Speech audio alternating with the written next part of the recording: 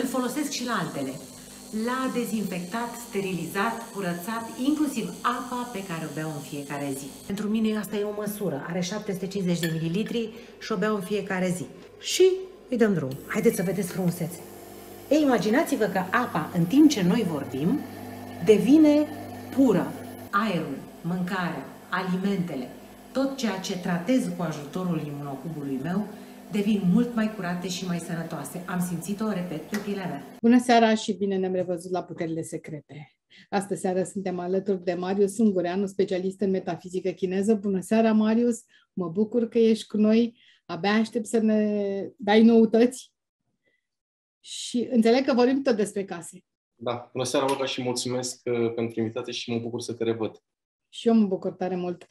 Învață-ne, Marius, cum să facem să ne fie mai bine, să ne simțim mai bine în casă, să atragem prosperitate, sănătate și, mă rog, tot ce ne, tot ce ne trebuie să avem o viață frumoasă. Uh, am tot stat și m-am gândit uh, cum să ofer o informație astfel încât să se adreseze tuturor, atât celor pasionați cât și celor care nu au timp efectiv să practice sau să citească, și atunci m-am gândit la uh, un uh, nivel de informație astfel încât să nu ai nevoie de nicio noțiune tehnică, absolut nimic. Pur și simplu am să încerc și pe parcursul emisiunii să nu fiu tehnic deloc, astfel încât oricine să poată înțelege cu o mare ușurință uh, ceea ce îmi doresc, de fapt, să, să, să le arăt că, de fapt, totul, absolut totul, este la îndemâna lor. Și am să încep Uh, în primul rând că este cel mai important uh, lucru, evident, casa sau apartamentul în care locuim. Uh-huh. Primul și cel, uh, un aspect important este schița casei, că de aici practic pleacă tot. Este scheletul. Da? Îmi place mie să folosesc foarte mult un termen avatar. Da, este practic corpul nostru.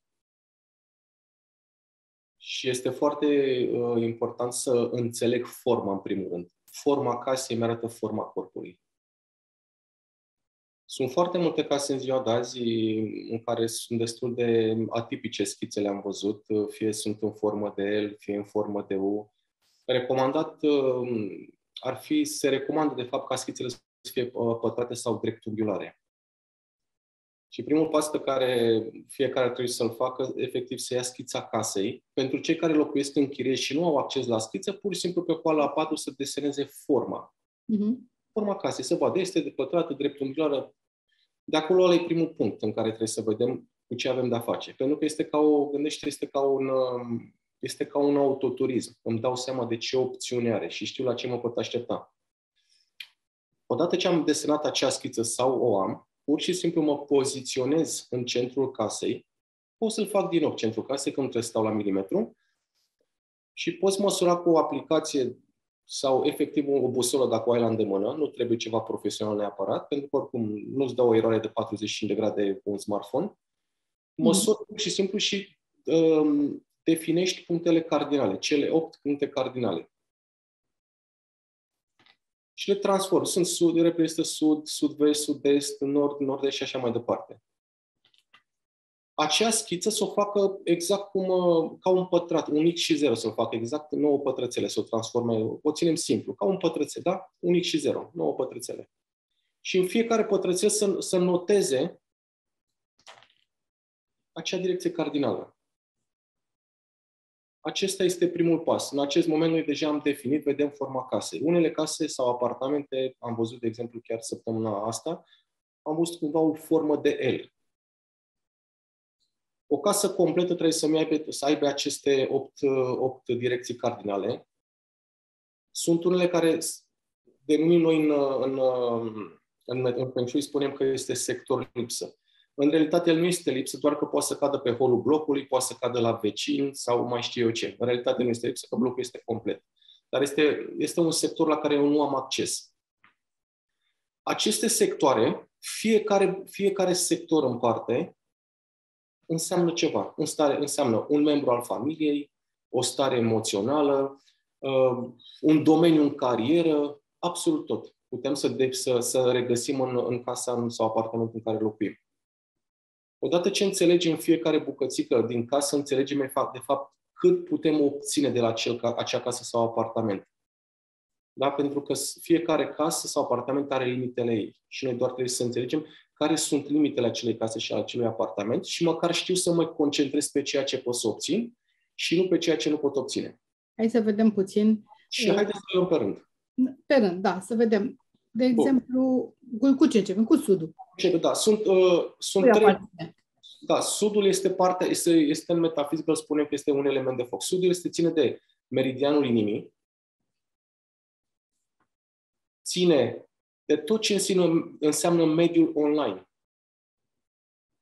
Și suntem într-o, într-o perioadă de 20 de ani în care online-ul efectiv va, va, va, va crește extraordinar de mult. Deci vedem cum pandemia ne-a forțat, ne-a dus forțat în, în, da? Coincide sau nu, este chiar când aproape când s-a și schimbat uh, perioada asta. Că, în teorie spune că în 2000, la sfârșitul 2023. Nu am intrat deja în perioada aceasta de foc, uh, această energie a Sudului.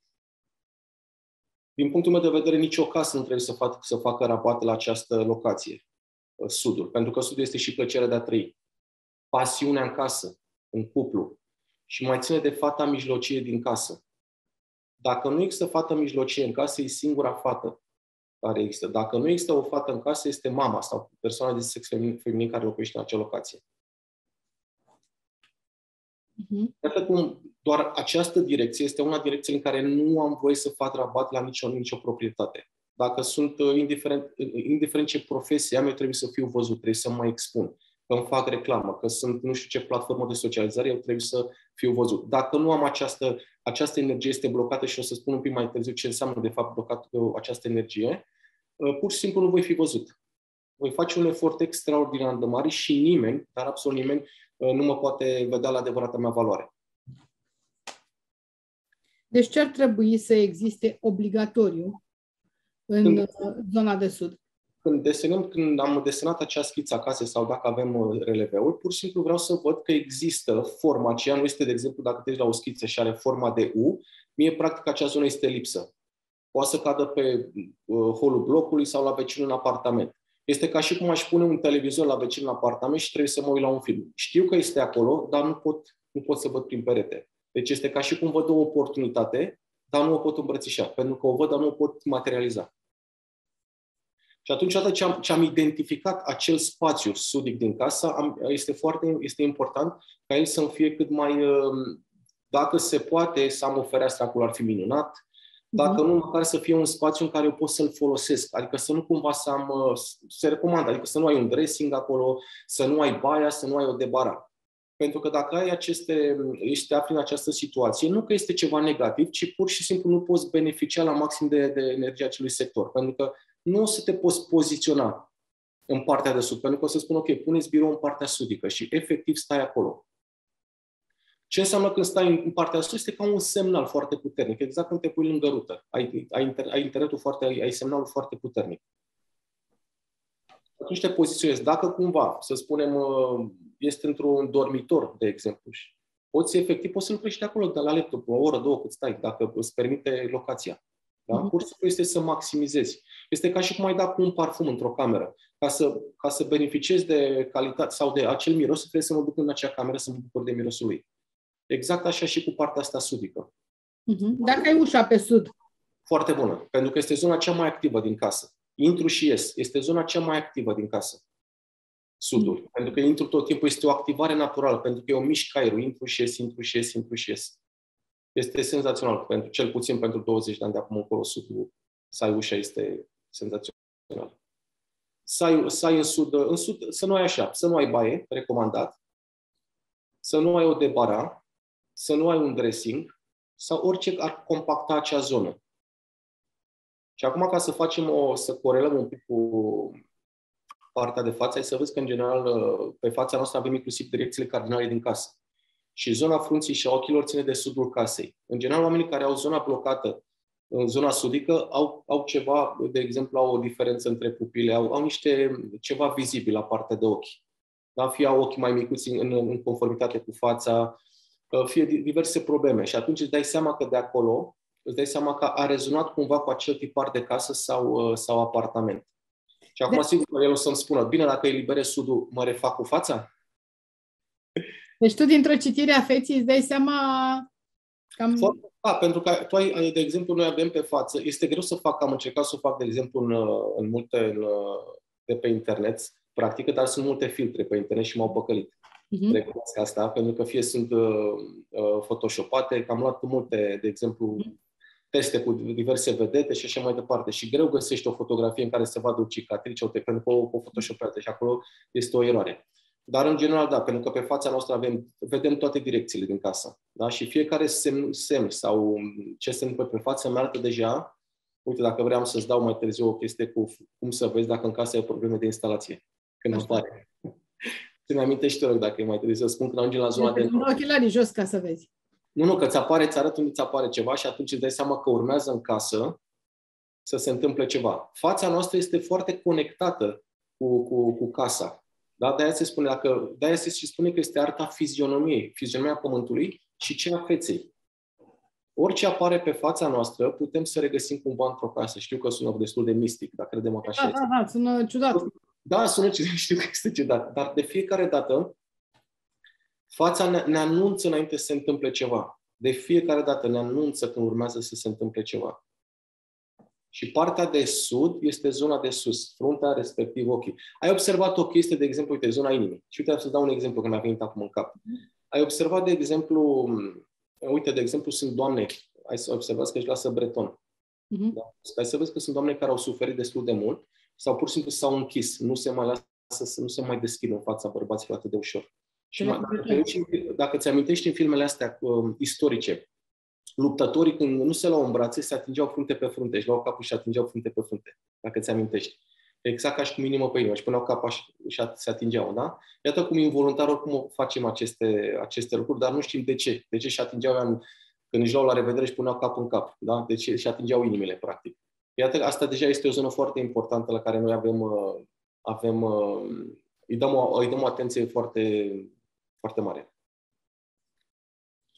Da, nu m-am gândit niciodată că uh, ar avea vreo legătură un anume stil de a te uh, pieptăna, de a te coafa cu, nu, cu asta.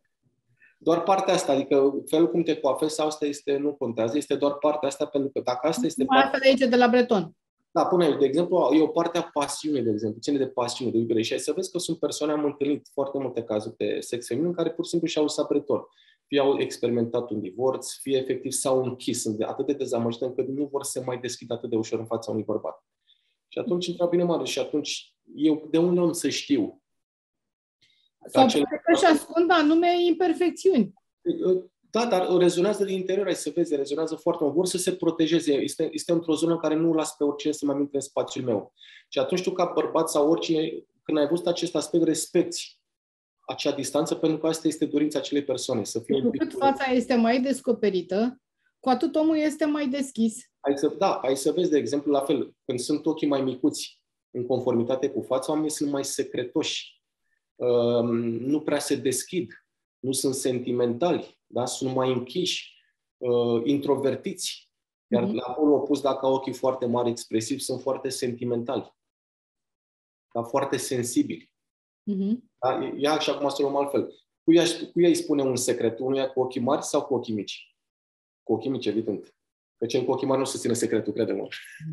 N-aș spune niciunuia. L-aș păstra pentru mine. Hai sunt de acord. Dar ca idee zic ca să înțelegi cum, cum fața ne arată deja și îți dai seama imediat cu, că uite, nici eu n-am ochii neapărat uh, mari în conformitate cu fața, sunt cam mici și am, am o, sectorul sudii la mine este un pic obturat. Da? Deci se vede clar la mine nu este complet.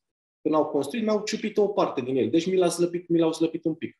Culmea e că eu le-am cerut să-l fac așa, pentru că am rezonat cu, în plan nefiind făcut mm-hmm. așa. Am rezonat. Și atunci mie mi s-a mi-a tras un pic din el, mi l-a slăbit. Dar m-am poziționat cu birou și noroc că am un geam acolo și îl folosesc foarte mult, sectorul sudic al casei. Înțelegi? Și de atunci lucrurile au, um, s-au schimbat foarte mult, s-au, s-au schimbat. Se creează acele oportunități, acele sincronicități. Noi le numim coincidențe, dar ele se întâmplă. Dar iată asta doar din partea de sud a casei, câte putem să obținem, câte ne putem da seama. Ne putem. Da? Și uite, avem o diferență aici, dacă te uiți exact între sprânceană și ploapă, partea aceasta, mm-hmm. da? Pe partea asta. Hai să vezi când, când apare cuiva un coș sau orice semn aici, în general un coș sau o chestie de asta Da. provizorie, urmează să aibă la casă o problemă de instalație. Da? Ur- Crede-mă, fără, fără excepție. Și acum o să vedem, dacă ți apare pe partea stângă, vorbim de par, apare la uh, partea, de, de exemplu, dacă ai un iubit și ți apare pe partea stângă, o să-i se întâmple la casa lui, nu la casa ta. Dacă ai pe partea dreaptă, la tine. Înțelegi?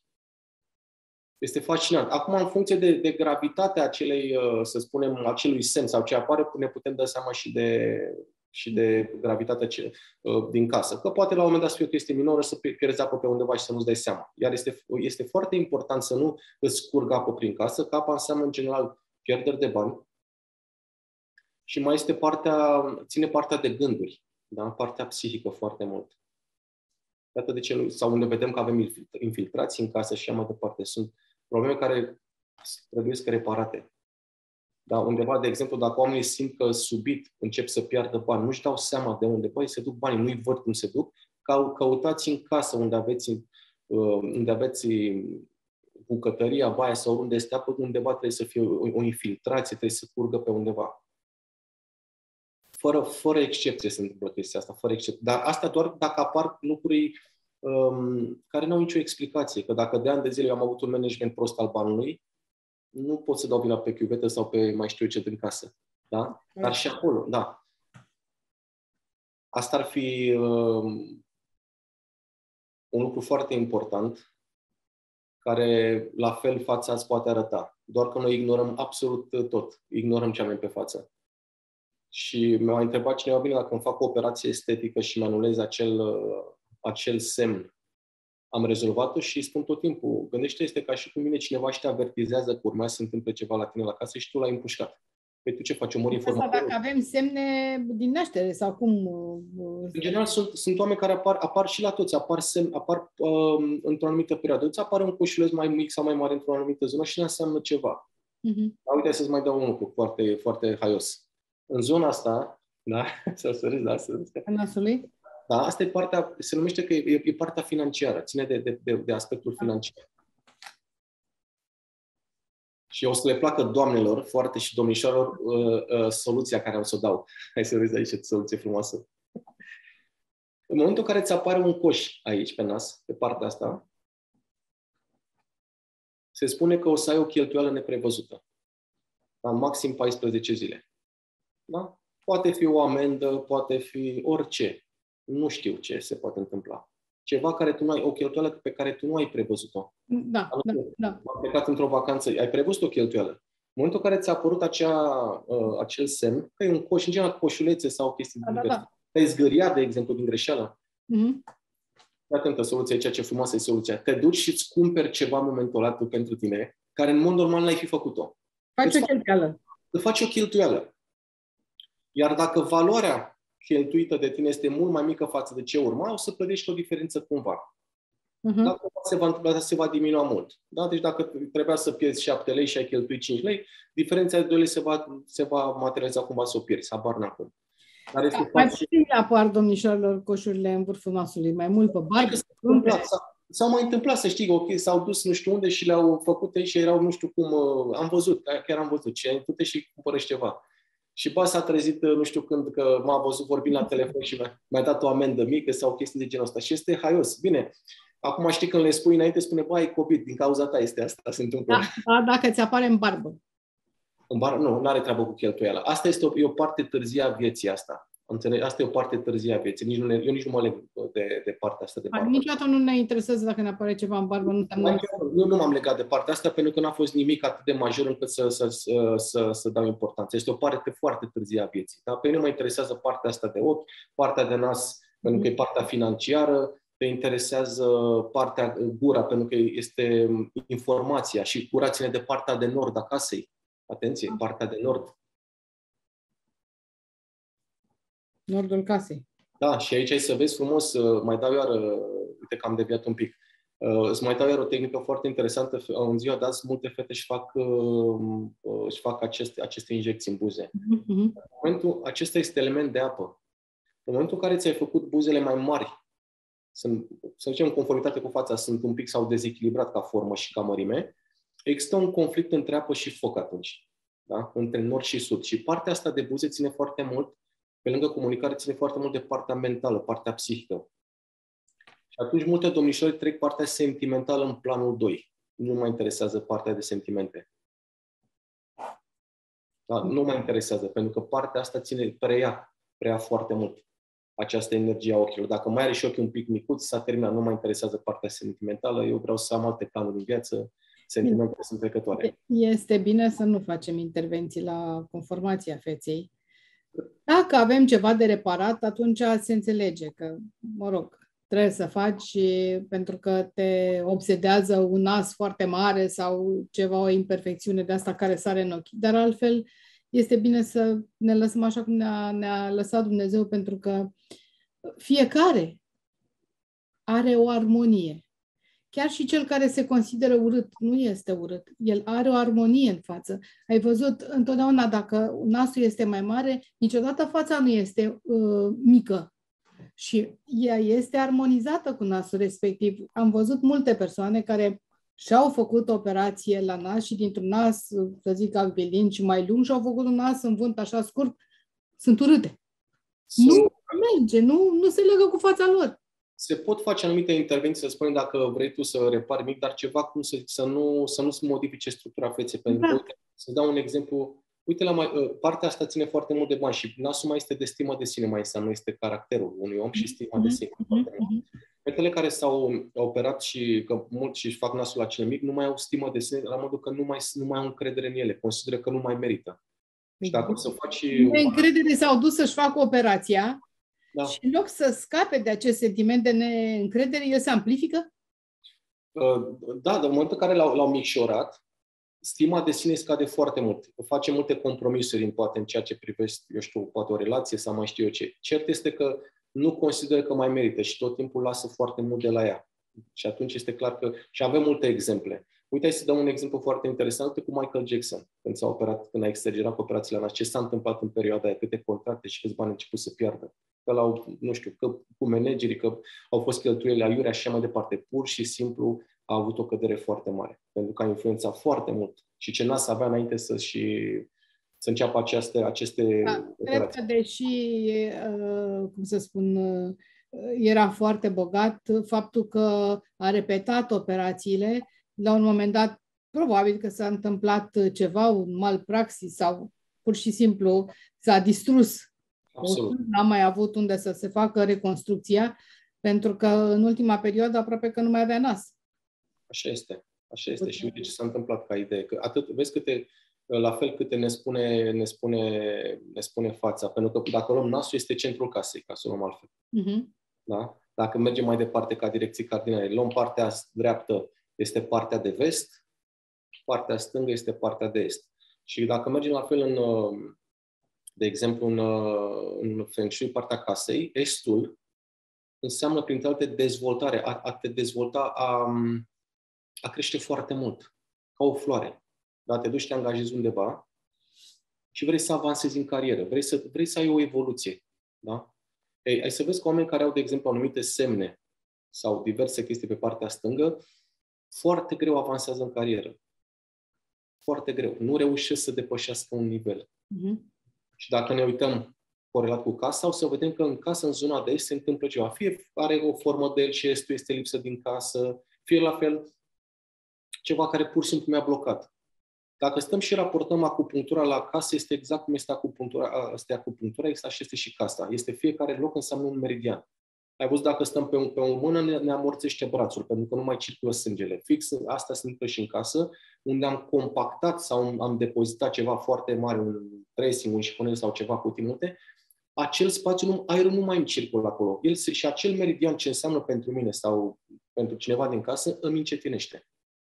Da? Spuneam în uh, rândul trecut că partea de sud-vest ține de partea de stomac la femei și sud-estul ține partea de coapse. Și persoanele care au, își doresc să, să slăbească, pe lângă ceea ce țin ca regim, dacă au loc, dacă, au, uh, dacă dau atenție acestor două zone din casă, rezultatele sunt mult mai bune cu același efort care l-au făcut până acum. Cu Ce sigur. înseamnă, ce înseamnă să dai atenție? Adică ce ar trebui să faci? de vestul și estul casei și pe aceleași, pe aceleași uh, sfaturi ca mai devreme să, să fie cât mai mult aerisite. Aerul să mai aibă acces acolo, adică să nu fie la fel, să nu mi cadă sub scară și acolo am pus tot felul de cutii, să nu cad într-o zonă, într-un dressing, de exemplu, dacă mi-a, mi-a căzut, este ok atât timp cât am un geam în dressing, una măcar să-l deschid și să fac cumva un curent de aer. Iar dacă nici asta nu pot, zic, ok, n-am geam în dressing, mai bine n-am nici geam, n-am nimic. Bun. Odată la două săptămâni măcar, scoate tot de acolo. Fă o agitație totală, ca și cum ai face. Ai scos umera și ai șters praful sau ce ai făcut. Fă, creează o mișcare. Nu, nu rezolvă complet, dar tot este un plus. Fiecare plus înseamnă ceva. Că uneori nu avem ce să facem, asta este.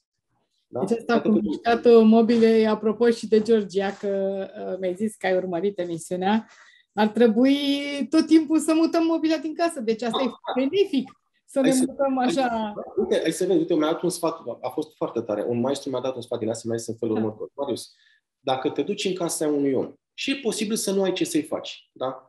Că e, e posibil. Pentru, e posibil pentru, pentru ceea ce te-a chemat, atenție, că te-a chemat, uite, vreau, vreau să mă ajut cu partea asta de relație. Poate nu te pot ajuta, că atât mediul cât totul este ostil. Nu am cum să te ajut. Mm. Atunci facem puneri măcar să, să-și scoată, să-și mute tot pe acolo, că tot se întâmplă, se mai întâmplă, se poate întâmpla ceva, se mai mișcă un pic aerul, se poate pe un alt plan. Ajută-l, dă-i, dă-i, dă-i acest, această informație. energie, mulți lucruri din noi, Pentru că aerul devine foarte static în zona aia și dacă muți un corp după un perete, după 2-3 ani, o să vezi că sigur acolo s-a, sau s-a strâns un pic de praf sau ceva s-a întâmplat pe zona aia. Este ca și cum dezmorțești. Uneori poți să faci asta, da, fără să ai niciun fel de cunoaștere. Și uite, până la urmă, avem curățenia de Paște și de Crăciun. Ce senzație avem, ce proaspăt e casa, că am făcut tot, am, am curățat tot prin casă. Deci astea sunt lucruri care nu le facem uh, periodic, însă acum dacă îți dau și mă duc punctual, mai am nevoie, de exemplu, uite, de partea de vreau să mă dezvolt foarte mult. Da, uite, vezi, Poliștii mei spun, de exemplu, că în, în zona de est este steaua 3, vestita stea 3 care înseamnă certuri, nu tot timpul. Eu folosesc această energie pentru sport, de exemplu. Așa. Da? Dacă tu ai nevoie de aceea să spunem că ești sportiv, că vrei să te dezvolți nu știu cum sau mai știu eu ce vrei să faci, folosești acel est al casei, mă duc și mut mobila după zona de est și îmi poziționez eu birou acolo, petrec cât mai mult timp. Fac zona frumoasă, o zonă în care să pot petrece timp, o zonă utilizabilă da? în funcție de nevoia care o am. Am nevoie, de exemplu, să învăț, dar urmează să dau niște examene sau fac niște cursuri. Folosesc sud-estul casei. Da, pe aceleași principii. Vreau, de exemplu, lucrez în partea de imobiliare. Băi, vreau, vând apartamente, fac diverse chestii la fel. Este zona de nord-est a casei. Da? Deci să activezi asta cu imobiliare nord-est nord-estul casei, același principiu, același principiu, pur și simplu să fac utilizabilă acea zonă. Dacă îmi permite casa, evident, dacă îmi permite casa. Dacă îmi permite. Acum, ca să merg la un nivel și mai, de, să mai mergem încă un strat mai departe, sigur că aici, odată am eliberat nord-estul interior și văd că nu se mișcă ceva trebuie să mă uit în afara casei sau blocului, pentru că de afară îmi vine acea energie și trebuie să văd ce tipar am. Pentru că la mine nord-estul este într-un fel, la tine este într-un fel, la altcineva este altfel. Și trebuie să văd ce calitate a acelui aer am. Dar exact ca am mai spus chestia asta, la mine, de exemplu, nord-est, nu este utilizabilă zona mea, pentru că în spatele, nord-estul e în spatele casei și am, am la 4 metri o construcție. Mm-hmm. Și mi-a blocat complet, mi-a anulat. Pentru mine, acea vestită stea 8 nu are valoare eu nu o pot folosi. Uh-huh. Pentru că ea este, aia este zona de unde vine ea și cum aici, Marius, eu vin pe culoarul nord-estic și nord-estul este blocat. Deci eu nu pot să vin la tine. Acea, acel oaspete care îl aștept eu nu poate ajunge pe culoarul respectiv. Exact ca un culoar de zbor. Nu are culoar de zbor stea 8 la mine. Păi, da? Pentru să 4 metri distanță nu e suficient? Păi da, dar mi-a făcut o clădire. Dar nu, nu este suficient 4 metri. Este A, o clădire care depășește înălțimea clădirii tale? Da, depășește cu mult. Uh-huh. Da, depășește cu un etaj și Spune-mi, te rog frumos, un pic, vorbește un pic despre casele care sunt pe colț. Multă lume le alege, da. alții fug de ele. Casa pe colț, la fel depinde. De noi spunem în Feng Shui că nu există ceva bun sau rău, depinde de ceea ce îți dorești.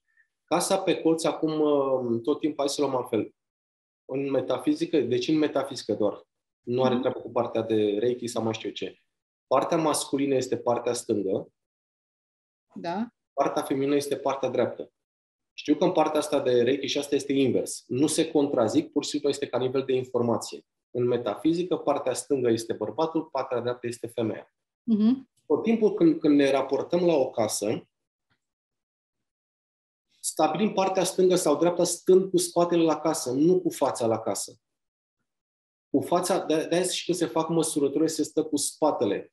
De exemplu, în Asia, când îți făcea o evaluare un maestru, te punea să măsori, să, felul cum țineai acea, acea busolă în brațe, își dădea seama de nivelul tău de, de, de cunoaștere în ceea ce privește Feng Shui. A, așa te evaluau.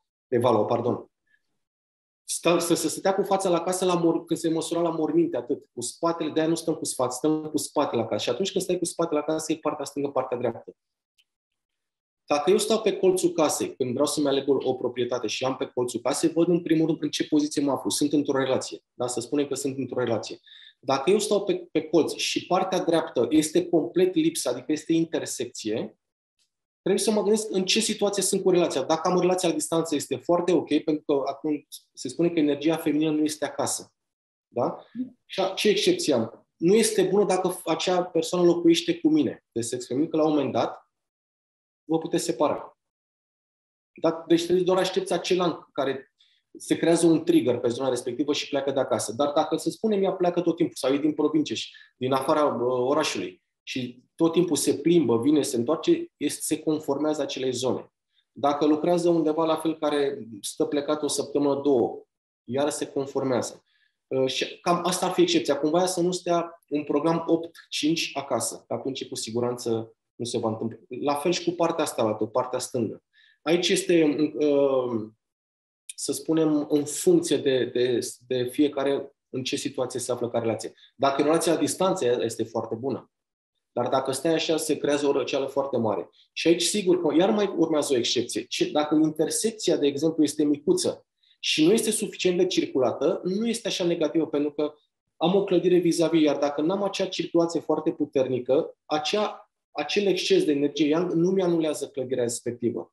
Deci trebuie să fie o intersecție. Atunci considerăm că este casa pe colț. Dacă este pur și Da. simplu la o stradă, un început de stradă, ea nu e pe colț. Pentru că, hai să o luăm altfel, îți dai seama și între, și între blocuri sunt niște alei sau niște străuțe pe unde intră mașinile.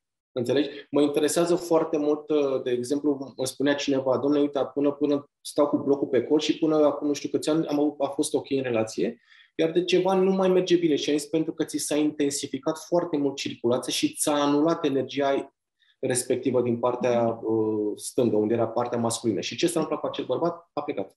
S-a dus, nu știu ce contracte a prins, nu s-a mai întors. Dus a fost Mhm, mhm. circulația ne, ne poate defini foarte mult cât, uh, cât de importantă este intersecția. Că dacă este o intersecție micuță și îmi trec pe aici pe acolo mașini, nu mă interesează. Pur și simplu, dacă nu este intersecție, e drum drept. Da, da, da. Și o stradă, dacă am o stradă de 11 metri, de exemplu, între, între cele două case și este foarte circulată, uh, pot să trag o concluzie. Dacă nu este circulată, nu mă interesează. Este ok, este o stradă și nu trebuie acum la fiecare, nu sunt toate casele sau blocurile trebuie să fie lipite. Ne interesează de, de circulație. Uite, ia Ștefan cel Mare, de exemplu. Acolo, orice intersecție, vedem cum este circulația. Da, și mi-anulează. Ai nevoie de intersecție, că peste tot este Da, nebunie. este. Păi de asta și București este cum este până la urmă, Olga, că dacă stăm și luăm așa și facem un sondaj să vezi pe relație cum e București, este la pământ, credem, la pământ. În primul rând din cauza construcțiilor foarte defectuoase, ca forme și așa mai departe. Din cauza cluburilor. Glumesc. Tot, da, da. Dar asta înseamnă casa pe colț. Ce recomand casele pe colț sunt foarte bune pentru, pentru business-uri. Pentru afaceri. Foarte bune. Sigur. Foarte bune. Și hai să spun un secret acum. Uite, vezi, eu spun un secret, dar să-l știi. Rămâne între, între toți Mhm. cei care să te urmărească. Ce se întâmplă în intersecții tot timpul? Mașinile încetinesc. Mhm. Da? Uite, și am să fac ca, să, ca omul să înțeleagă foarte ușor. Hai să vezi, oamenii când merg la pește, niciodată dau, un- dau tot pescuiesc în ape liniștite. Nu unde curge apa foarte rapid. Da? Hai să corelăm, între, să facem o, o analogie între o apă care circulă foarte rapid și o șosea unde merg multe mașini. Energia nu se acumulează. Ce se întâmplă în intersecții? Mașinile încetinesc. Energia se acumulează. Noi o numim pe asta în metafizică punct meridian. Mhm.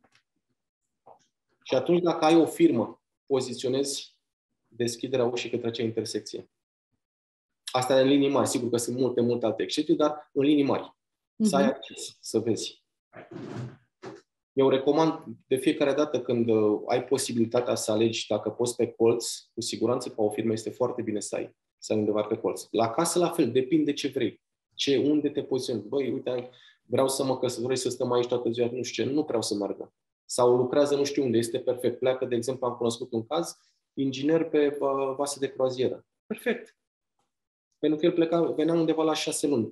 După șase luni venea acasă, petrecea 8 săptămâni, iar pleca și am zis, este perfectă casa pe colț pentru tine. Este perfectă. În momentul când el se va retrage și va rămâne acasă, atunci cu siguranță trebuie să vedem ce se întâmplă, cât de, gravă, cât, cât de mare este circulația și vedem ulterior ce putem să facem. Dacă, pentru că dacă este un dezechilibru exterior, cât de mult nu există remediu să poți înlocui un, uh, de exemplu, o șosea foarte circulată, singura dacă îți permite cumva și stai la casă, să-ți creezi o barieră vegeta- de vegetație, să-ți pui, știu, niște pomișori, ceva, să-mi creezi o barieră. Dar dacă stai la bloc și sunt cu vederea fix pe față, ce pot eu să fac? Nu ai ce să faci, crede-mă. Da, exact la asta mă gândeam când, când vorbim de casa pe colț și de casa într-o zonă circulată, de această barieră, adică da. să existe vegetație, să existe pomi și mai la, la casă mai, o, o, o, mai este un aspect. Gardul. Este, gardul este o barieră. Da? da, da. Ce nu recomand, eu am făcut prostia asta, recunosc că l-am știut, asta este, gardul nu trebuie să aibă, să, să aibă cum să spun, um, spații mari între, între, de exemplu, între șici, pentru că mi se creează niște curenți. Printre, gardul trebuie să fie cât mai uh, plin, să zic așa. Că este, știi cum, hai să uite, dacă, dacă dacă aș lua palmele mele ca fiind un gard, în momentul în care ți se pune ceva să iei și cu degetele deschise, ai văzut cum spune, iei banii cu, cu mâna deschisă, se duc. Tot timpul vrei să fie închis. Cam așa trebuie să fie gardul, dacă, să spunem, dacă îți locuiești la casă. Asta este un aspect, este o formă, o barieră. Iar dacă stai pe colț și ești la casă, gardul, pe partea unde ai intersecția, poți să mărești un pic gardul sau pui niște tuia și mi-ai anulat foarte mult din efectele intersecției, din mm. efectul uh, circulației uh, din intersecție. Vezi că, te, vezi că te, sunt soluții la îndemână, nu trebuie să te muți neapărat. Nu ai de ce să te muți. Da? Dacă stai pe colț și ești la bloc, de exemplu, iar pe partea unde este interesant, n-ai niciun geam.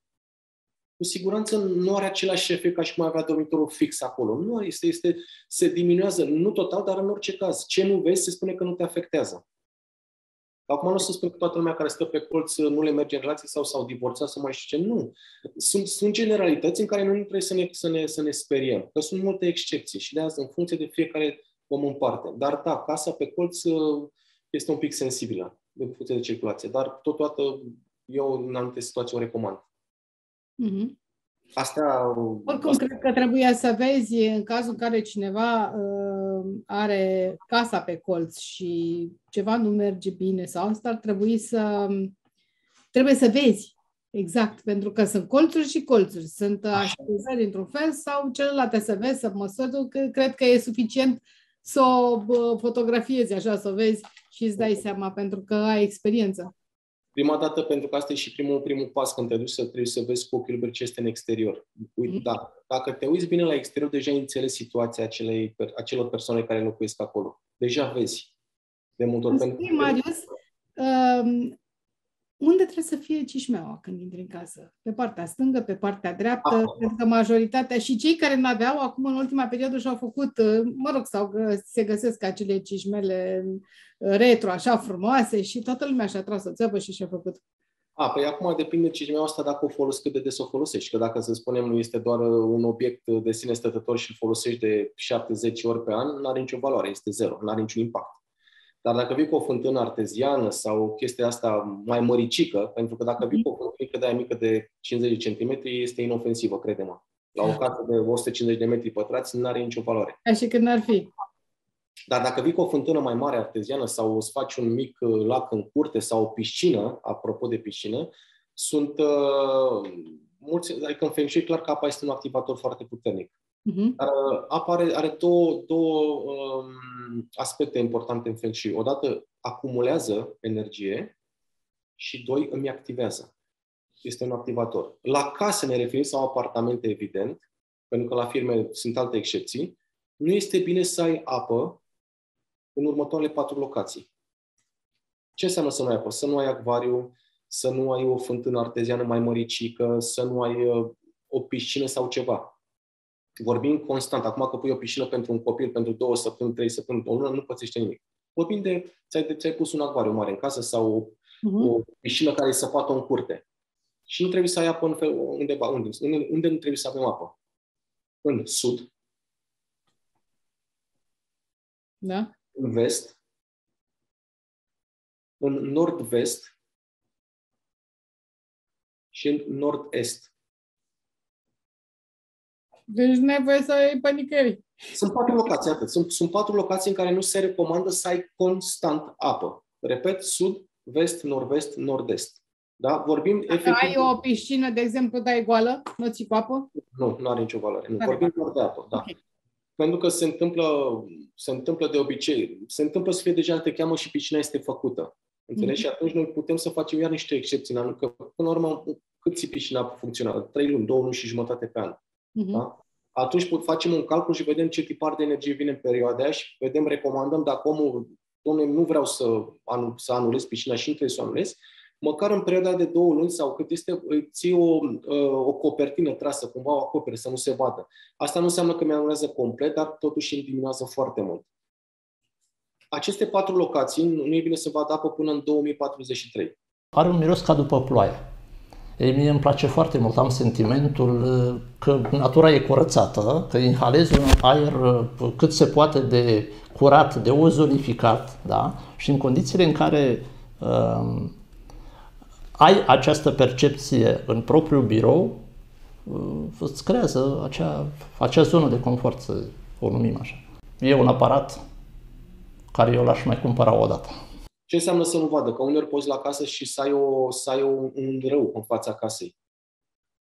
Sau poți să ai, nu știu, sau, uite, hai să mai dăm la fel la curte. Dacă ai o piscină pe o direcție care, o locație care nu este favorabilă, sau exact ce menționam din cele patru, dacă îți permite distanța între piscină și casă, fă la fel o barieră de vegetație între casă și piscină. Punem niște plante, ceva frumos care să-ți placă ție. Dacă mm. vorbim de tuia, că vorbim mai știu ce de... Dar ceva să fie o barieră cumva. Mm-hmm. Și va diminua foarte mult din efectele acelei, uh, acelei uh, ape. Da? Foarte mult îmi efectuează, îmi uh, atenuează. Deci acestea sunt, sunt niște informații care, din punctul meu de vedere, ce am văzut cel puțin, cred la fel nu este excepție. Una din greșelile mari, nu faci piscină în spatele casei niciodată. Iar dacă faci și ai o distanță... E poziționată curtea, că dacă e casa în față și curtea în spate, în spate faci, că n-ai unde. Dar uite, aici mai este un aspect care, uite, iar intru într-o, o să intru într-o ușoară polemică. Foarte mult, când măsurăm, o, când ne uităm la o casă, apropo și de, de casă pe colț, trebuie să vedem care este fațada casei. Aici este cea mai mare contradicție între marea majoritatea practicanților. Care este fațada? Uh-huh. E bine, fațada nu este cum se promovează, că este drumul cel mai circulat. Este complet fals. Nu este adevărat. Adică dacă eu am o casă și am, să zicem, spatele, am două geamuri spre intersecția nu-i fațada casei mele și eu calculez greșit. Nu se calculează așa. Și cum se, ca să-ți dai seama, poți să faci două hărți pentru acea casă și să întrebi proprietarul, să vezi în care se, se regăsește. Pentru că o casă îți spune o poveste.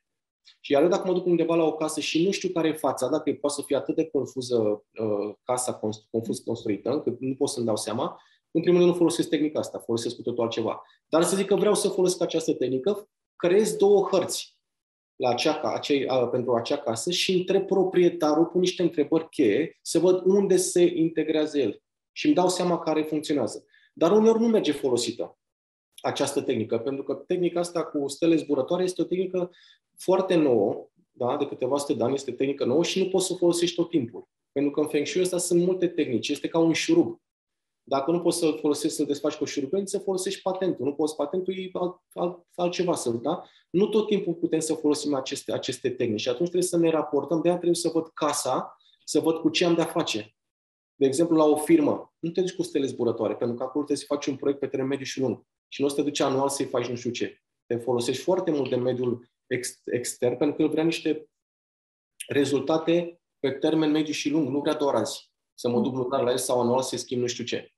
Cam așa funcționează um, partea asta de, de să spunem, uh, stele zburătoare și mai ales partea de apă, pentru că apa asta, de exemplu, în exterior, nici măcar nu face parte din uh, această tehnică a, a stelelor zburătoare. Este a mediului înconjurător. Iar apele virtuale, putem să spunem în, în metafizică, în Feng Shui, reprezintă sunt chiar șoselele, drumurile. Le numim ape virtuale. Iar munții sunt clădirile învecinate. Sunt munți artificial, doar cu, cu excepția că ei nu produc energie, ci pur și simplu sunt niște, um, cum să le spun, uh, niște protecții. Uh-huh. Da? Niște scuturi, hai să luăm altfel, sunt niște scuturi. Trebuie să avem mare grijă cum interpretăm. Unele produc, altele nu. De aici, în funcție de vechime și mai departe, de forme, sunt multe Există o modă aceea a poziționării tablourilor în uh, birouri, acolo unde dorim noi să fie potențată, um, cum să spun, um, afacerea, unde ne uh, petrecem timpul și unde vrem uh, afacerea să meargă cât mai bine, cu munți, cu ape, cu tot felul. Nu știu câtă valoare au, știu doar că am o cunoștință care comercializează astfel de tablouri și mi-a spus că este un tipar.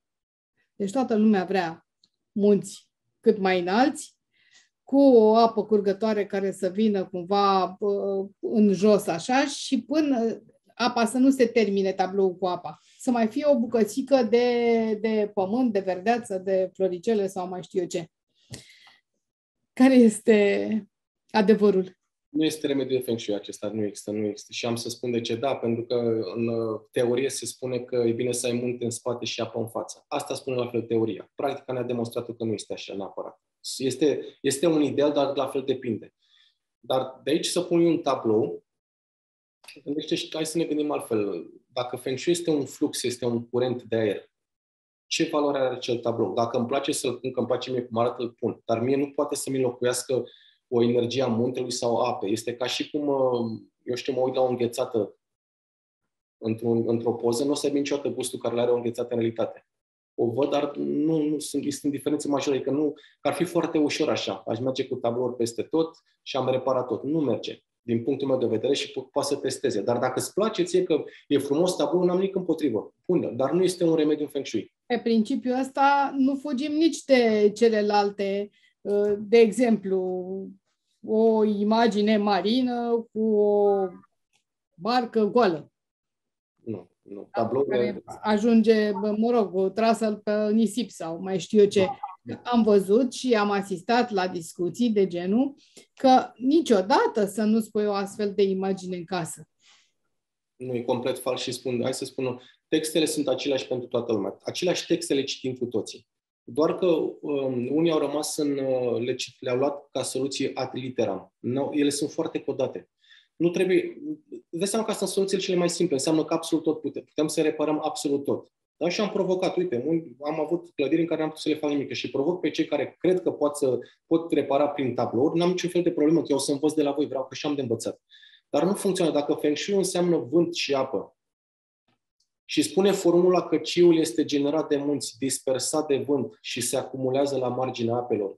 Ce legătură are cu un tablou, să-mi spună și mie cineva, că nu are nicio legătură. Ce, mie tabloul îmi generează vreo energie? Nu îmi generează nicio energie. Serios vorbim, nu are nicio legătură. Dar dacă, dacă și mie îmi plac anumite tablouri, pune-le. Dar mie nu înseamnă că dacă îmi lipsește, să spun, o energie a apei, să spunem. Vin cu un tablou cu apă și o să-mi rezolve situația. Exact așa am uh, auzit. Deci dacă nu ai apă în zona aia, puneți un tablou cu ceva care să reprezinte un lac, o mare, un ocean. Uite, am avut o situație iar de curând. M-a sunat o doamnă și m-a întrebat că i-a recomandat cineva să cumpere 8, uh, un tablou cu 8 cai, că se aducă bani. De ce 8? Pentru că e perioada la 8 la Feng Shui. Și, am, și mi-a zis, Marius, uh, o să-mi aducă, aduce prosperitate acest tablou Păi zic, o să aducă persoane care l-a vândut, cu siguranță nu ție. Uh, zic, întrebarea mea este, ia întreabă, trebuie să pui în fiecare cameră sau? Și credem un preț destul de ridicat pentru da. un print de la mână pus în ramă. Nu are nicio valoare chestia asta. Dacă tu, și indiferent de Feng Shui care face la o casă, dacă tu vei avea aceeași acțiune, cu siguranță vei avea același rezultat. Pe tine Feng Shui, ce înseamnă? Feng Shui nu este o magie. În trecut era considerat magie, astăzi este știință, că putem să demonstrăm foarte multe. Și cel mai frumos este când te duci la casa unui om și explici în exterior ce se întâmplă cu el și rămâne, are, are un șoc, efectiv are un șoc. Și putem să o facem efectiv pe Google Earth, nici uneori nu trebuie să ne deplasăm până acolo. Dacă este actualizat, nu este o construcție nouă, putem să ne dăm seama exact ce se întâmplă. Feng Shui, nu înseamnă, Feng Shui te ajută să, să-ți, creezi, să creezi acele sincronicități, acele oportunități. Dar nu prin aplicarea unui, unei, unui, uh, unui tablou sau a nu știu ce situații, gata, o să mi se schimbe mie viața, care a fost foarte ușor. Și eu întreb, iară, e o întrebare și nu este retorică, adică nu este retorică și nu este nicio ironie. Eu întreb, de ce cei care vând aceste tablouri nu sunt milionari, de exemplu? Pentru că tu îmi dai mie un tablou, dar tu ai 10, ai 100 poate în depozit. Vreau să, ai, să fii, adică să vii la mine să uite, vezi, de la este iactul meu, la este uite ce fac eu. Și eu ți le cumpăr pe toate. N-am, sau cât am nevoie ca, ca venituri, să zic. Dar nu funcționează așa. Și după care îmi spui că știi că e karma ta sau nu știu ce. Păi spunem de la început atunci. Asta e karma. Nu spune după ce am cumpărat, am făcut o investiție. Nu sunt. Și probabil că de aici există și o reticență foarte mare de fa- față de această știință în România, pentru că am spus-o de fiecare dată, oamenii nu se îndoiesc de Feng Shui, pentru că ei nici măcar nu știu ce înseamnă mulți. Uh-huh. Se îndoiesc de soluțiile recomandate, pentru că au trecut prin niște, să spunem, situații în care se simt stânjeniți acum pentru ce, ce au investit și nu s-a întâmplat nimic, nu s-a materializat nimic. Și asociază, de asta și asociază ei de multe ori Feng Shui-ul asociază cu religie, pentru că îi văd, se raportează la anumite obiecte. La asociază mai degrabă cu obiecte. Exact. Deci, exact. pentru că... Pentru că acum era, este părerea mea, Olga, dar nu vreau să jignesc pe nimeni, dar este părerea mea. Dacă tu vii, vii, vii și spui că, da, domnule, știi că obiectul ăsta a stat în templu, uh, trebuie să-l încarci tu și nu știu ce, și dacă tu, că îți ține de tine să încarci obiectul ăla. Păi dacă, de ce să iau obiectul ăla? Atunci iau orice obiect din casă și îl încarc. Deci trebuie să-l cumpăr pe ăla, dacă este totul stă în mine. Eu, e doar întrebarea mea și nu mi-a dat nimic răspuns. Așa cum vorbeam și data trecută, până la urmă e un simbol, poți să mi-l imaginezi. Poți, da, exact. De ce trebuie să cumpăr obiectul ăla care este extrem de scump? De ce trebuie să iau să dau banii pe tabloul ăla care costă nu știu câți bani? Și Există o explicație, pentru că atunci când mă uit la el, el simbolizând ceva, eu mă voi duce cu mintea la, la uh, lucrul respectiv pe care îl doresc, doresc eu să mi-l activeze. Corect. Am dar... permanent în minte acel, uh, acel număr, dacă eu îmi pun un vas de prosperitate, de câte ori trec pe lângă el, mi-aduc aminte de prosperitate și că trebuie să fac ceva ca să... Aia este de fapt ideea. Facem ceva după ce l-am văzut sau doar mă și hai adun bani? Înțelegi? Aici este ideea. Da? Pentru că îți arăt, uite, și poți să de, putem să demonstrăm, nu vorbim din cărți. Îți arăt sector, îți blochezi un sector în casa ta, îl blocăm intenționat pentru o perioadă și poți să-mi pui tu orice obiect. Dacă tu nu vei debloca acel sector, nu va avea niciun efect. Dar vreau să, să existe un flux uh, al uh, energiei în casă, al aerului. Aerul. Nu cred că există vreun, uh, vreo zonă în care uh, e ok să blochezi. Deci nu. bine este să nu fie pe nicăieri blocat. Da, cu siguranță acum undeva trebuie să-mi pun un șifonier, trebuie să-mi pun ceva cu siguranță, dar aici este în funcție de nevoile mele, în funcție de um, ce practic în cariera mea și atunci să, să nu blocheze acele aspecte ale, ale vieții mele. Și eu n-aș bloca niciodată, indiferent de ce practicăm în viața asta, n-aș, n-aș bloca sudul uh-huh. și nordul, pentru că nordul ține de, de, de, de partea de, de gânduri, da? Ține ca și sănătate partea de rinichi, auz, da? partea ginecologică la femei, partea de nord. Uite, apropo de nord și de uh, așezarea patului și dormit, dormitul cu capul în direcția nordului, vreau să spun că am văzut situații uh, comice în care uh, apartamentele erau așezate de așa manieră încât uh, nordul ducea spre ușă. și, spre, și oamenii și-au pus patul în mijlocul camerei, pentru că vreau să doarmă cumva, să fie orientați cu, cu tablia de la part uh, spre nord. E ciudat să vezi într-o cameră, să intri și să dai de tablie. Adică, cred că oricare dintre uh, situațiile astea aproape imposibile și ar găsi un remediu dacă am merge așa cum ai spus, domne, pe o zonă nici cea mai bună, nici cea mai rea. Uite, mai spun un lucru. Cele mai importante sunt formele. Școala stelelor zburătoare sunt niște formule. Formele îmi activează formule. Fără forme sunt, n-au nicio valoare. Pentru că are câteva sute de ani această școală. Înainte să existe această școală, nu mai exista Feng Shui, nu există așa ceva este într-adevăr este bună, dar are niște limite. Formele sunt foarte importante. Patul, tot timpul trebuie să aibă un perete solid din spate. Nu contează că este nordul, pentru că fiecare direcție este, fiecare om are niște direcții personalizate. Nu este o chestie generală. Uh-huh. picioarele spre ușă sau nu știu, nu pățești nimic dacă dormi cu picioarele spre ușă, este în regulă. Nu, poți, nu pățești nimic. Am dormit patru ani cu picioarele spre ușă și n-am pățit nimic. Bine, asta cu picioarele spre ușă știu că nu, cum să spun, în, de când uh, mă știu, când eram copii, nimeni nu așeza patul cu piciorul spre, picioarele spre ușă așa să dorm, pentru că asta era direcția mortului. Da, și, dar și la țară oamenii nu-și puneau patul așa cu picioarele spre ușă. eu am stat patru ani cu picioarele spre ușă, că nu știam atunci pe atunci și, și n-am pățit nimic. Se spune că dacă stai cu picioarele spre ușă, de fapt, în metafizică îți scade cumva imunitatea. Da? Imunitatea nu se întâmplă să... Dar dacă tu ai o tăblie la, la pat, de exemplu, ți-a Așa. anulat, ți-a anulat efectiv, ți-a anulat... Uh, uh, pentru că acea tăblie la pat este ca o, uh, ca o protecție între tine și ușă. Da? Sunt multe excepții. O chestie care, un lucru care recomand în general, să, nu, să evite să doarmă cu capul către geam. Da, vezi câte lucruri la care nici nu ne gândim. Dar să pui pat în mijlocul camerei și așa mai departe, nu. Formele, pune spatul să ai un perete solid, nu contează că e nord, că e vest, că e est. Nu sunt generale lucruri, nu se generalizează nimic, pentru că unele proprietăți acasă nu ne permit anumite uh, metode. Și atunci trebuie să ne, să ne, să ne emulăm pe ce gândești la o garsonieră, de exemplu, că câte limite avem la o garsonieră, ce facem la o garsonieră? Că o să spui, nu pune șifonieră acolo. Păi n-am ce să fac la o garsonieră, îți dai seama. Ai, trebuie să pui șifonieră acolo, patul acolo și atât se poate, da? Ce facem? Când vorbeai despre forma obiectului cu care ne uh, chinim așa să armonizăm camera, există posibilitatea de, cum să spun, mi-a venit în minte așa, dacă nu avem cum să așezăm uh, tăblia patului către nord, de exemplu, să ne luăm un pat rotund, care nu are tăblie. nu, trebuie, nu trebuie să ne așezăm capul spre nord. Eu asta tocmai, tocmai asta vreau să menționez, că nu este obligatoriu către nord. Eu am, de exemplu, spre vest, cumva, patul. Pentru că, în primul rând, trebuie să-ți permită casă. E posibil să nu-ți permită camera. Dacă nu-ți permite camera să pui nici spre nord, nici spre sud. Prima dată este, da, patul rotund nu, afe- nu este nici plus, nici minus, dacă mă întreb pe mine. Nici plus, nici minus. Nu este... Gândește că în trecut uh, se, spune, se spuneau acum am văzut iară, nu știu, o explicație, să treacă, nu știu, un curentul de aer pe sub pat și așa mai departe. Păi în trecut ei dormeau pe podea direct, dormeau și au trăit foarte bine, n-au pățit nimic. Acum brusc trebuie să am nu știu cum pe sub pat, să nu stagneze și așa mai departe. Să nu avem obiecte pe supat. Înghesuite, plădițe, sertare, cu toate că să există obiecte de mobilier, există paturi care de desubt uh, au Poți să spui pus, la pătura pat, de da, pus, exact. Nu este așa. Vezi că iarăși acum putem să întrebăm oameni, că poți să este ușor să întrebi, uite, ai dormit atât cu asta sub pat, ai pățit ceva? Nu. Deci nu are nicio valoare, pentru că ele nu pot să fac, nu pot, nu pot exista, de exemplu, la cineva să funcționeze sau la cineva nu. Ori merge, ori nu merge, punct.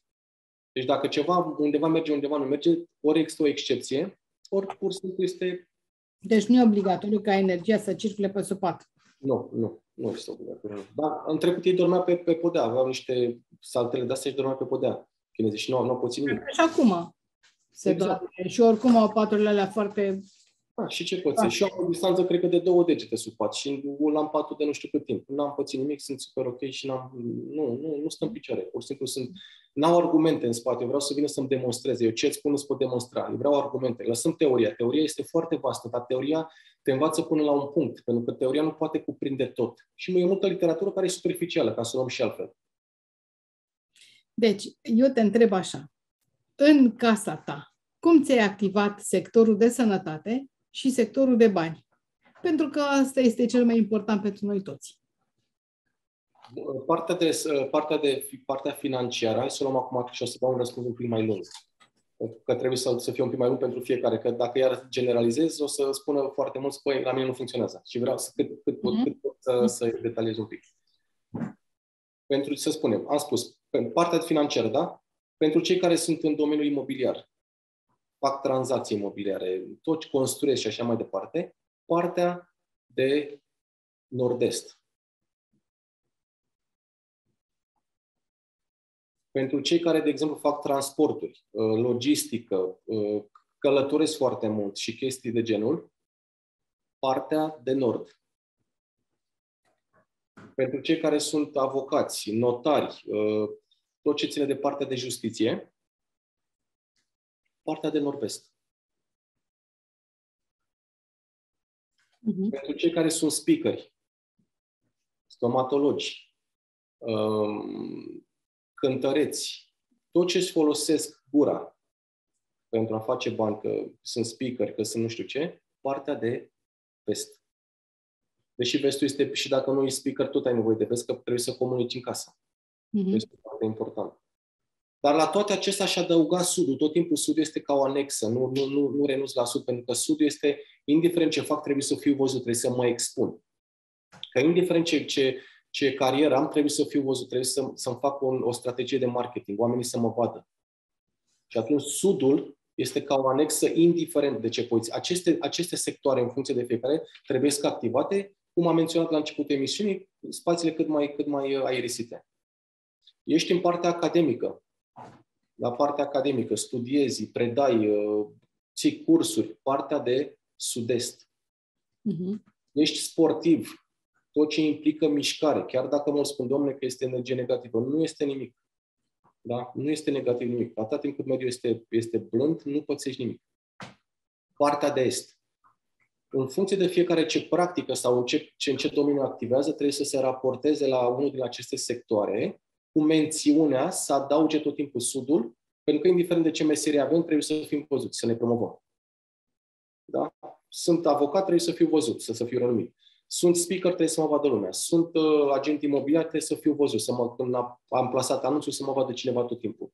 Uh, la fel și dacă vrei să-ți vinzi o casă tu, de exemplu, cineva vrea să-ți vindă o proprietate. Te, tu te transformi în momentul într-un agent imobiliar. Folosești nord-estul casei îl eliberez cât mai mult, să fie în perioada cât, cât mai activ.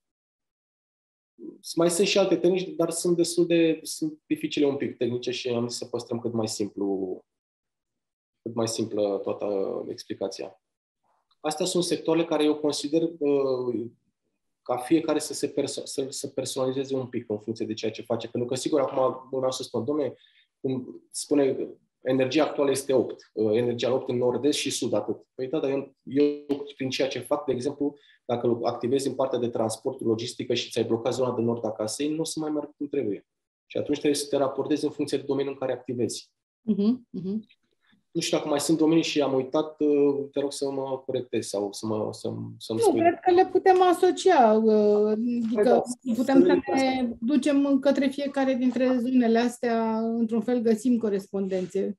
Uh, vreau să știu activarea banilor. Activarea banilor ține, ține cum, fac, cum activăm. Deci dacă, dacă ceea ce ne interesează, de exemplu, îmi cade în partea de sud-est a casei, în partea de uh, sud-est, est, partea de nord sau partea de sud-vest,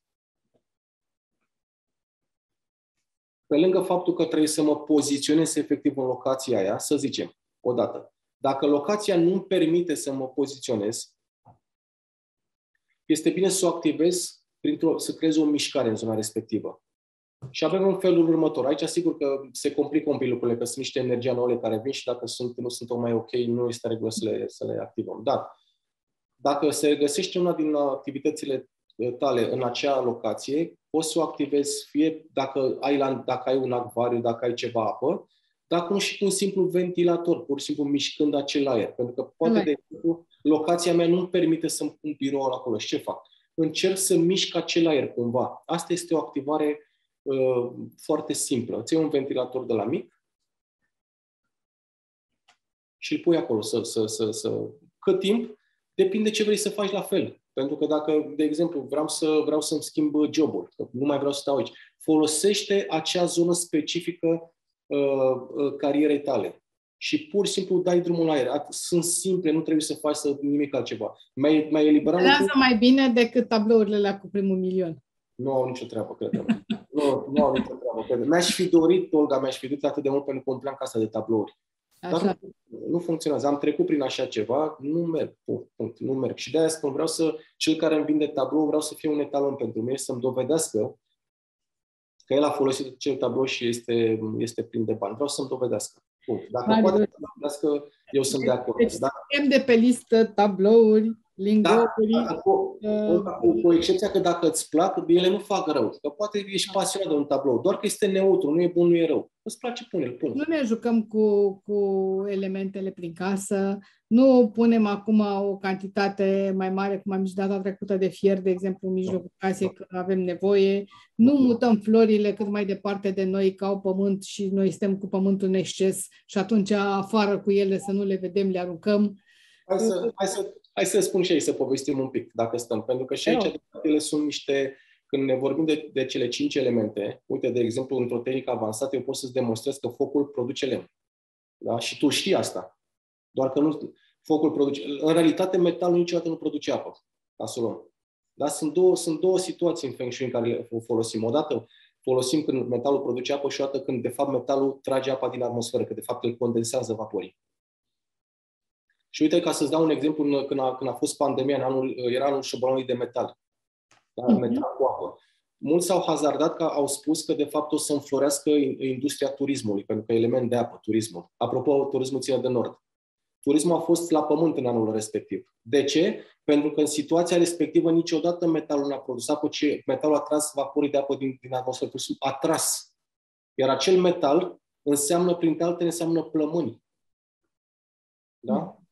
N-am știut, sincer, recunosc că este, a fost dificil să-ți dai seama cu pandemia, pentru că n-am trăit niciodată o pandemie să-mi dau seama exact ce da. înseamnă ca și elemente, dar am stat după aia să ne uităm cum, cum s-a creat, de fapt, de unde, cum se vede metafizic. Iată cum aceste, de fapt, aceste elemente n-au... Dacă, dacă, de exemplu, spune că tu ai nevoie de un lemn în harta ta, să zicem, îți vine cineva și spune, eu nu pot să vin cu lemn în casă să-l pun și am scurt. Lemnul înseamnă o acțiune pentru tine, înseamnă ceva. Lemnul înseamnă, de exemplu, dezvoltare înseamnă, uh, înseamnă, să, să, înseamnă sport, printre altele, înseamnă, pentru mine înseamnă parteneri. Și așa mhm. mai departe. Depinde pentru fiecare, dar să pun cinci casă, înseamnă cu cinci elemente în casă am rezolvat iar Feng Shui. Vin, am pus element de foc, am pus roșu pe perete, am nevoie de metal, am pus metal. Dar la fel metalul, dacă stăm și ne gândim, în cât timp produce pământul metal? În milioane de ani. Foarte greu. Păi eu dacă pun metalul în casă, eu am timp să-mi dezactiveze mie acea energie, că trece anul s-a dus. Eu am nevoie de, de mișcări rapide, eu nu mai am răbdare peste trei ani, eu am nevoie în, într-un timp scurt să maximizez ceva în casă, să fie să-mi controlez o stare de sănătate, fie să-mi aduc un plus în relații și așa mai departe. Aceste elemente, din punctul meu de vedere, în primul rând, când pui lemn în casă, e lemn mort. Dacă vii mie și îmi pui nu știu ce bibliotecă de lemn, nu are nicio valoare la fel. Sigur, dacă vorbim... Dacă scot florile din casă ca să n-am exces de pământ? Nu, eu întreb atât. A fost ok cu el în casă? Dacă vorbim de niște ghivece uriașe, mari de tot și nu știu ce, dacă vorbim de niște ghivece astea puse la geam, n-au nicio, din punctul meu de vedere, n-au nicio valoare. Depinde și aici, pentru că și aici sunt excepții. Dacă vin cu niște plante de alea foarte mari, de exemplu, cu siguranță acolo deja vorbim de niște efecte. Dar depinde în raport cu casa, că nici măcar aici nu pot să-ți dau o definiție. Ce înseamnă mic sau mare? Trebuie văzut casa, văzută casa, cât de mare e sau apartamentul. Uh-huh. La fel cu ce mai avem? Pământ, metal, apă, la fel, că domne, pui, pui apă și s-a rezolvat nu știu ce, cam deficit. Uite, apropo, am vorbit cu cineva, N-am, a fost greșeala mea, pentru că n-am știut că am fost foarte tehnic, din păcate nu mi-am dat seama în trecut. Și era o doamnă terapeută pe atunci și am crezut că, na, fiind cumva colegi, am zis că înțelege. Și am zis, am zis că ai un exces de apă în hartă. I-am explicat eu. Dar n-am continuat discuția, că am zis că înțelege și m-a sunat de la mare dacă poate să intre în apă care exces. Și nu mă refeream la exces de apă ad literam. Asta nu înseamnă că trebuie să te deshidratezi sau să intri. Excesul de apă este un exces de gânduri care te poți duce chiar spre depresie. La asta m-am referit. Și atunci ce spune metafizica? Dacă vii cu lemn, lemnul absorbe apa. Da? Și atunci ar trebui să-i spun să transform acel lemn în niște activități pentru ea și îți face aceste activități care țin de elementul lemn și încep și faci. Și ce am zis? Îmi fac și mișcare, încep și te duci la sală. Pentru că sala ține, sportul ține de partea de elen. Mm-hmm. Da? Încep și studiezi anumite lucruri. Vezi ce-ți place. Apucă-te și studiază ceva ce-ți place ție. Este partea academică și folosim doar două sectoare din casă, est și sud-est, să-i diminuăm un pic excesul de, de gânduri. Iată cum acele elemente le-am transformat în niște acțiuni. Nu punem lemn în casă și săraca fată era în depresie. Cam așa, așa, așa se Așa lucrează în metafizica asta. Noi am importat foarte, adică am luat aceste expresii și le-am transformat ad literam. Puneți lemn, puneți cutare, puneți cutare. Da, mi-ar fi plăcut, Doamne ferește, era frumos să fie așa, dar nu funcționează. Am testat-o pe pielea mea. Clopoței de vânt la intrarea în casă. Clopoței de vânt, ce îmi place mie la clopoței de vânt, tot mi-a plăcut sunetul. E un sunet pentru care pe mine mă liniștește, un sunet liniștitor. Hmm? Are efect în, uh, dacă, dacă sunetul ăla îți dă o pace, folosește-i. Mie, de exemplu, mie îmi plac. Pentru că au un efect, mă, mă liniștește sunetul ăla. Când aud vântul ăla cum bat, când aud, de fapt, zgomotul produs de vânt, este superb. Mie îmi plac. Dar uh, doar aș, l-aș folosi doar dacă am o stare de agitație și cumva sunetul ăla mă, mă liniștește. Atât. În rest, ca efect, că spun că am pus metal sau mai știu eu ce, nu. La fel, nu. Reprezentarea lui Buddha sub tot felul de forme. Statuete, tablouri uh, și așa mai departe. Uh, Este o, cum să spun, ultimii ani au făcut să nu mai existe casă de român, să nu, în care să nu găsești un mic Buddha, cât, uh, da, cum să spun, este un uh, must-have, așa, în fiecare casă. De ce râzi? Da, râd, da, păi râd că e, n-are, la fel nu are care avea un efect în, în Feng Shui că pun un Buddha în casă, însă pur și simplu să spunem că nu Acum sunt o groază, e Buddha al, învăță, Buddha al învățăturii, al prosperității, al sănătății, al... Sunt... Da, Buddha asta este o stare interioară, e starea de Buddha, e starea noastră interioară până la urmă. Și asta, dacă fiecare înțelege și îi place acel Buddha, este în regulă, poți să păstrezi, este ok, dar nu că ți aduce la fel ceva. Um, În ultimii ani și mă bucură, uh, avem acces foarte mult la, avem un acces mare la informație, ceea ce mă bucură și foarte, din ce în ce mai multă lume au început să practice, ceea ce este ok. Pentru că m-a întrebat cineva, recomandăm o carte de Feng Shui, una bună sau una, sau să nu, să nu citești ceva prost. Și nu citește orice. Pentru că nu ai cum să faci diferență într-o carte slab calitativ și într-una bună decât dacă o citești și pe aia. Citește-o și pe aia și vedem după, ulterior. Nu aplica nimic momentan. Dar trebuie să citești cât mai mult ca să-ți dai seama de diferențe. Că și am citit că sunt foarte slab. Sunt foarte slab ca informație. Slab. Erau foarte slabe. Adică nu, nu, le păstrez acum așa ca amintire, că mi-e Mhm. dragă perioada aia dar slabe ca, ca și conținut. Dar doar ace- fără acele cărți nu puteam să fac o diferențiere. Nu aveam cum să fac diferențe și sunt niște, mi-a dat niște soluții de te, do- te doare mintea, efectiv, să faci așa ceva în casă. Și gata, s-a rezolvat Feng Shui. Nu. Partea asta cu Buddha, la fel, este un val foarte mare de, să spunem, nivelul, tipul ăsta de cunoaștere. Dar n-am nimic împotrivă, este frumos și mie îmi plac, sunt, sunt drăguțe. Sunt drăguțe statuetele, sunt frumoase, dar n-au, nu sunt remedii în Feng Shui la fel. Și nu, e doar plusul tău, să spunem, psihic, ți-l aduce, dar nu, nu au valoare din punctul meu de vedere. Sunt simple obiecte. Nu cred, eu nu cred în, în, în folosirea obiectelor, ca să luăm altfel. N-am nicio treabă cu obiectele. Și la fel mi-a zis cineva că am avut o contradicție cu un coleg, că, domne, știi că obiectele sunt ținute nu știu ce temple, zic, acum zic că or fi afară, dar la noi, dacă mă faci să fiu rău cu tine, se cumpără de la marginea Bucureștiului, în Angro. Eu mă mir că acele obiecte stau prin temple și fac nu știu ce. Nu cred asta, sincer. Nu cred că au adins vreun templu. Înțelegi ce vorbim? Alt Da, templu decât dragonul nostru de aici. Hai să fim, da, să fim, prag- să fim cât mai pragmatici, că nu e, și să fim realiști, că nu e așa. Și întreb tot timpul, că am mai fost pe undeva și am mai văzut diverse obiecte și am întrebat de ce nu s-a întâmplat atunci dacă la obiectul ăsta. Da, nu m-am gândit la asta, că atunci când uh, noi, ca și creștini ortodoxi, ne cumpărăm o icoană, uh, luăm o icoană care a stat într-un templu, a stat într-o biserică. Luăm o icoană sfințită. E altceva, este Și altceva. are valoare. În rest, are valoare de pictură, de obiect și atât. Și La atât. fel și cu aceste obiecte. Ele, Da. dacă au stat în temple, dacă au acea încărcătură energetică, probabil că au cu tot o altă valoare. Cu siguranță că da, de mă întreb acum câte obiecte au din, uh, din aceste angrouri, sincer, că eu, eu, eu cunosc pe unii care merg și cumpără, înțelegi? Și nu cred, sincer. Nu, sunt, Nu numai din angrol, chiar și din magazine de specialitate. Bă, Comerțul este atât de mare, la un volum atât de mare, încât uh, nu e sigur că este un obiect care a stat în templu decât dacă te duci și îl iei tu de acolo. Exact. Atunci vorbim de cu totul L-ai altceva. cumpărat. Da, Da. acolo vorbim cu totul altceva, dar s-a, s-a, s-a, di- cum să spun, s-a diluat atât de mult, că de asta și Feng Shui ăsta săracul, este, sunt atâtea școli încât nu mai știi care e bun. Și acum eu spun tuturor, păi, ceea ce funcționează, ai tehnica bună, punct.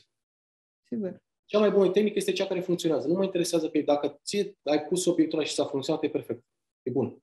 Dar uite, vezi, tu uh, uh, ocolești așa și nu vrei să-mi spui uh, știu că te amuză, te-am întrebat înainte de începutul emisiunii, Uh, foarte mulți dau tot felul de soluții, de uh, lucruri care se întâmplă așa cât uh, pocnești din degete, uh, vis-a-vis de câștiguri. Pentru că este, în afară de sănătate, oamenii vor sănătate și bani. Asta interesează. Apoi, dragoste și tot felul. Uh, și uh, am tot auzit să arunci nu știu ce bani la nu știu ce intersecție, să pui nouă bănuți într-o punguliță, să faci nu știu cum, să aprinzi trei lumânări verzi și să... Uite, da, aici ai să, o, să, o să intru un pic mai în detaliu. În primul rând, contează dacă stăm și noi la partea financiară sau prosperitate. În primul rând, trebuie să personalizăm, să vedem ce acces am eu la... la pentru că am, am o parte a destinului meu care nu poate fi modificată. Da, nu poate. Și aici, uite, am să, am să, am să iar am să intru într-o contradicție. Da? Pentru că Feng Shui spune în felul următor, cer un pământ, 33,3% destin, 33,3% Feng Shui, 33,3% 33,3% acțiunea omului. Și teoria ce spune? Dacă ai un Feng Shui bun, o acțiune bună, înseamnă 66,6%. Deja îți controlezi destinul. Iar eu vin și spun, și pot să dovedesc, asta spune teoria. În realitate nu este așa. Teoria așa, într-adevăr, este corectă. Dar vin și spun, dacă tu în destinul tău nu ți este dat ceva, tu nu vei găsi acea proprietate, acel feng shui bun, astfel încât prin acțiunea ta să, să, să domini feng shui procentual. Da, matematic așa este, corect. În teorie este perfect. Dar eu am nevoie, în primul rând, să am acces la această proprietate, pentru că nu odată mi s-a întâlnit să, să am oameni care i-am le și spus, du-te, caută-ți o casă, dar evităm aceste 45 de grade. Olga este incredibil ca 5 din 5 case cu aceeași problemă rezonau, pentru că ei mai aveau ceva de învățat. Uh-huh. Și nu te scutește de o lecție ta. Și o prima dată trebuie să văd în harta ta, să văd cum funcționezi tu, să văd la ce ai acces, pentru că mulți fac prin comparație își doresc să facă anumite chestii în viață și nu le sunt date. Și nu o să-ți iasă. Da? Pentru că nu ai acces la acel, la acel la... de ce nu știu de ce. Așa ai venit tu de la trup. Dar eu vin și spun, dacă tu zici vreau asta, îți spun, dacă tu nu ai acces, în primul rând nu vei aplica ce îți voi da eu. Doi la mână, dacă ne încăpățăm, inclusiv consultantul, chiar și eu, putem să greșim să nu vedem ceva, pentru că tu nu ai acces. Nu vei găsi acea proprietate și așa mai departe. De aici putem să plecăm prima dată, că așa dacă puteam prin Feng Shui, toți consultanții erau milionari. Pentru că deții secretul, dar de ce nu poți? Acum că vin și spun el altfel. Păi, tu crezi că toți doctorii cardiologi sunt sănătoși, nu ar fi și doctori bolnavi de inimă și sunt cardiologi?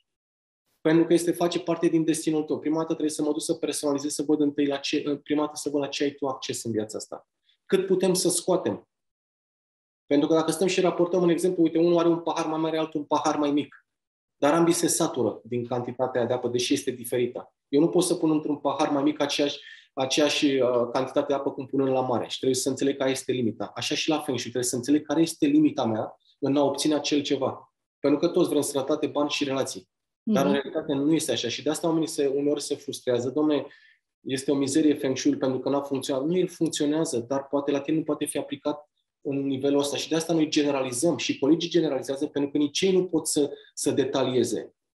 Ăsta e motivul pentru care eu nici nu, nici nu fac chestii generale, pentru că te ascult. Ce facem cu talismanele norocoase, cele care sunt încărcate cu energie și omul zice și și un uh, astfel de talisman, îl poartă la mână, la gât, stă cu el. Ei, ei știu acum cel mai bine, Olga. Dacă, dacă și-au luat un talisman și le-a, le mers, uh, n-am nimic împotrivă, dar depinde de unele și ce au făcut în continuare cu acel talisman. Pentru că, uite, există la noi la fel, am observat niște tehnici de astea în care în fiecare îți dă un animal de la să porți la mână. Mm? Deci, bă, dar de ce, de ce noi de ce în, în partea asta metafizică, în partea chinezească îți dă la fiu? Adică cumperi 12 animăluțe și gata, în fiecare am porți unul și s-a întâmplat ceva. Dar de ce în zodiacul european nu se dă așa ceva, să porți? De, pentru că nu, nu există așa ceva să porți. Acel animăluț înseamnă ceva pentru tine. În cel mai rău caz, să spunem, sau situație, să-l porți ca un reminder, să-ți dai tu seama că tu trebuie să faci o anumită acțiune în anul respectiv, să zicem. Dar de aici până al purta doar așa că s-a rezolvat o problemă, nu faci decât să fii dezamăgit la sfârșit de an și să asociezi această cunoaștere ca fiind ceva superficial. Nu este, este aplicată superficial cunoașterea asta, asta sunt de acord, total superficială. Pentru că în România sunt, glumeam cu o colegă din Asia, spunea, știți că în România sunt mai mulți maestri decât la voi? Pentru că la noi peste tot, după două, trei uh, cursuri, sunt toți maestri. Nu înțeleg de unde e ego ăsta atât de mare. Asta nu înțeleg. Pentru că în teorie suntem foarte buni cu toții, dar practica ne omoară. Da, în teorie toți, când mi-au cum vorbesc, sunt superbi. Dar acțiunile sunt tot, felul cum aplică o formulă sunt, sunt total eronate. Formulele. Ideea este așa. Uh, înțeleg că atunci când un feng shui nu este făcut uh, ok și cel care uh, a venit și ți-a făcut feng shui nu este chiar un cunoscător, nu știu, dacă ți aduce rău, ți aduce bine, nu ți aduce nimic. Nu, devine o loterie. Poate să nimerească sau nu, punct. Dar atunci Ei, devine o loterie. Poate să-ți aducă și rău? Da, da, da. Păi hai să luăm altfel. Dacă îți activează o zonă, am spus mai devreme unde vine să vadă casa să aibă apă sau nu. Îți spune dacă vine cineva și spune apă în vestul casei. Uh-huh. Dacă a pus în vestul casei. Da, tu poți să faci niște bani. Că în continuare apa în orice zonă ai pune poate să-ți aducă niște bani. Depinde și apa este curată, este murdară și așa mai departe. Da. Dar să zicem că ți-a pus apă, uite, pune apă în vestul casei. Ok, niciun fel de problemă. Și aici sunt excepții în care pot fi puse, dar mergem pe linii mari. Tu poți să faci niște bani și o mare parte să-i dai pe niște probleme de sănătate. O mare, mm. Pentru că vin niște efecte adverse uriașe. Pe mm. cine? Mm. Păi vedem cine e vestul casei. În general, vestul casei înseamnă fata mică, printre altele din casă. Prima mm. este fata mică. Nu există mm. fata mică, este lovită mama. Nu există mama, este lovit bărbatul. Oricine locuiește în casa aia este afectat. Mm-hmm. Și acolo trebuie văzut ce, ce energie mai avem să vedem ce efecte urmează să, să, să aibă loc. Asta este, da, cu siguranță se, pot, se poate face, cu siguranță este involuntară, că nu îl face voi. Da, sigur. Mare, mare atenție la aceste lucruri, pentru că în cel, mai, spus, în cel mai rău caz să nu aibă efect și este ok.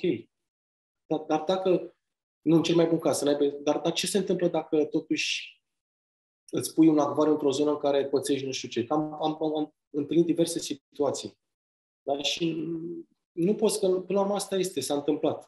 A avut, poate și el a avut o lecție de ce a făcut, a, a pățit, uh, că nimic nu este întâmplător în viața asta și nu dăm vina pe nimeni, pur și simplu ok, oprește. Pe de altă parte vreau să atingem ce am uh, vorbit înainte de emisiune, de exemplu, cum e acvariul meu de 200 de litri, n-am cum să mă mișc cu el din an în an în casă. Nu. Pentru că e foarte mare și foarte greu să-i găsești un loc în altă parte. Ideea este că dacă el acolo a fost pus și a funcționat acolo, ok, a mers, merge de 10, de 15 ani și nu s-a întâmplat nimic, ăla e locul lui. Tu știi cel mai bine acum că tu te-am și întrebat dacă, uite, în anul X, în anul, anul trecut, de exemplu, în ce parte e acvariul? În, în uh... est, parcă. Sud-est sau cum? Sud-est. Sud-est, sud-est. Deci sud-estul este, bun, este bine să vadă apă, este în regulă. Uh-huh. Dar uite, vezi, anul trecut steaua, această stea care este zeaua, steaua dezastru și toată așa, asta a fost în sud-est. Uh-huh. La un acvariu de 200 de litri, nu aveai cum să, să, să treacă anul fără să pățești ceva foarte grav. Vorbim până în februarie anul pentru că activarea este foarte puternică. Până în februarie. Da. Ai pățit ceva grav anul trecut? Foarte grav. Anul trecut vorbim. Grav n-ai pățit nimic. Păi trebuie spui până în februarie. Da, da, până în februarie. Până în februarie ăsta. Ai pățit ceva foarte grav? Da. Păi am, am pățit în martie, la sfârșitul februarie, începutul da, martie. Toată cât, da, ok, dar nu are legătură cu acvariu. Pentru că acvariu, are legătură cu acvariu. Nu are legătură cu acvariu. De asta spun, vezi că sunt, sunt atâtea excepții și ne speriem, pentru că mm. ce facem? Mutăm, ne mutăm prin casă. Dar, dar iar, dacă iar am înțeles de la tine, dacă tot ai un acvariu, este obligatoriu să fie curat.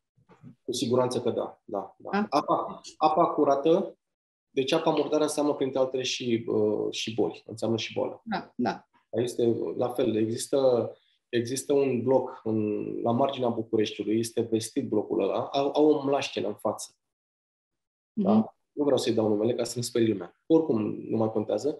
Foarte mulți bolnavi psihic acolo, oameni bolnavi psihic, au intrat în depresie, că nu există remediu și m-am dus acolo niște mulți că nu am ce să-ți fac. Eu nu pot să concurez cu acest lac, pentru că un lac uriaș, nimeni nu l-a îngrijit, este o apă efectiv stătută și nu vrei să știi doar cum este acolo. Nu vrei să știi. Da. Bănuiesc este... că e acea zonă ă, lăsată așa ecologică, zic ei. Da, da lăsată, se, da, și, sa, și oamenii și se mută acolo și se întâmplă diverse și spun, Marius, ce pot să fac din punct de vedere Feng Shui? Foarte simplu, notează că e greu, te muți. Da. Pentru că eu nu am ce să fac, este un mediu atât de ostil pentru ce mai chem atunci? Ar însemna să rămână câteva blocuri goale pe acolo. Că erau chiar două blocuri, doar două blocuri puse într-un unghi oricum foarte ciudat, ca idee cum erau puse blocurile, nici măcar nu le puteai lua fațada. Mm-hmm. Pentru că ele erau cumva unite și unde măsurai, îți dădea două, îți dădeau niște direcții diferite și spunea, ok, care e fațada blocului. Nici nu contează, folosim altă tehnică, nu mă mai interesează asta pentru că nu o putem folosi. Dar când am văzut mediul, mai contează pentru noi ce energie vine sau cum este. Gândește dacă, să spunem, era din sud energia aia. Deci eu puteam să, să, dau, să dau o valoare, să spunem, să, să, să știu cum funcționează acea energie din sud, pentru că am văzut acea apă murdară și deja știu ce se poate întâmpla în blocul ăla.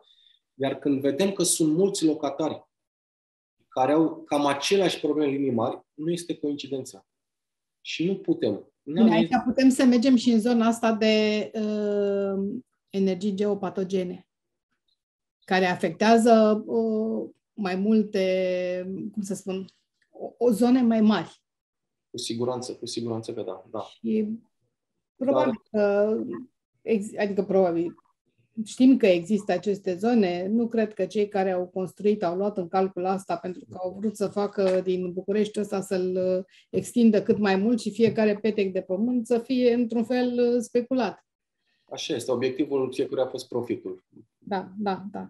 Nici de cum. Să ne, exact, e bine să ne uităm întotdeauna și la împrejurim că sunt foarte importante.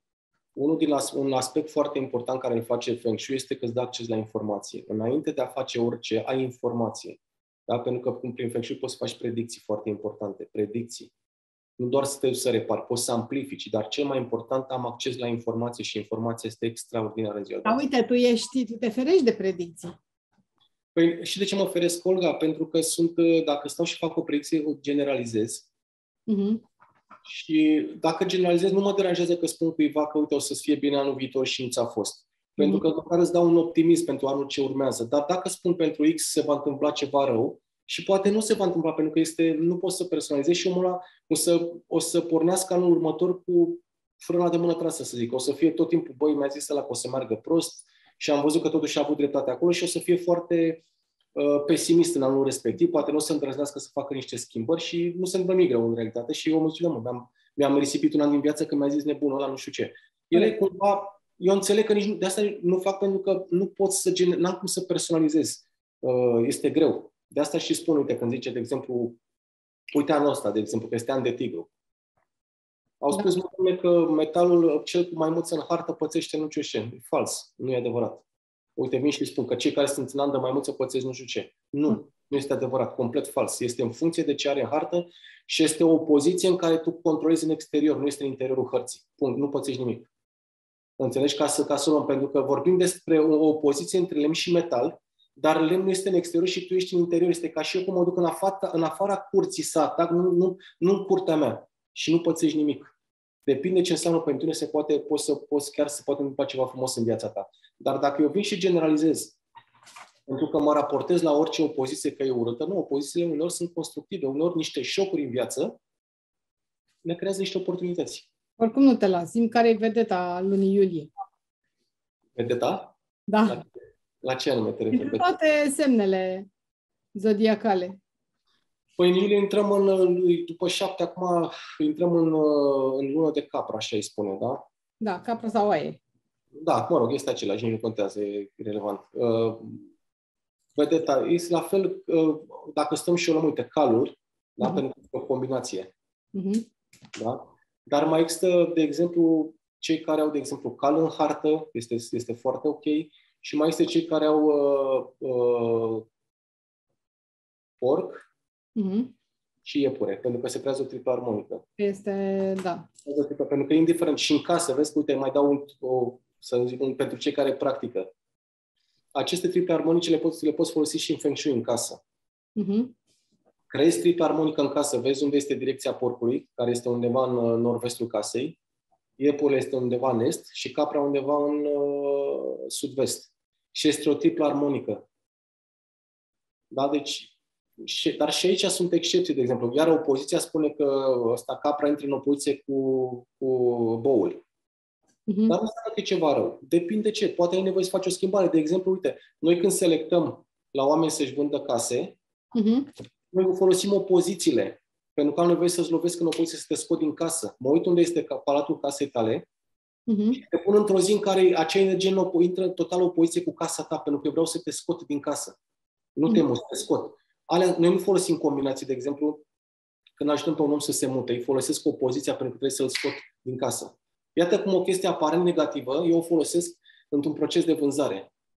Da? Și ghiși ce funcționează. Pot să-ți dau prin screen uh, unei doamne din Canada în două săptămâni la vândut casa. Cu siguranță contează să fim într-un preț al pieței, nu să vindem la milioane de euro și să există un marketing și așa mai departe. Nu excludem sfera realității. Dar folosind acea energie care, de asta spun, din punctul meu de vedere, nu există nimic rău, ci depinde la ce folosești. Da? Opozițiile le folosesc foarte... Eu merg foarte mult pe opoziție pentru că sunt schimbările rapide. Combinațiile sunt, adică sunt lente. Domne, stai un pic, o să ai o promisiune, se întâmplă, nu se întâmplă, printr-un prieten. Opozițiile vin rapid, dar trebuie să-ți asumi anumite efecte ca șoc. De exemplu, cineva a fost dat afară de la muncă printr-o opoziție, uh-huh. dar prin, prin acel șoc și-a creat un business propriu. Iar un an mai târziu este mulțumit că i-a mulțumit Universului, sau Dumnezeu, cum dorește el, că s-a întâmplat acel șoc, ca el să poată să, să înceapă un business, că altfel nu avea curaj. Și mm-hmm. iată cum un șoc i-a creat o opoziție. Înțelegi? Nu combinație, o opoziție.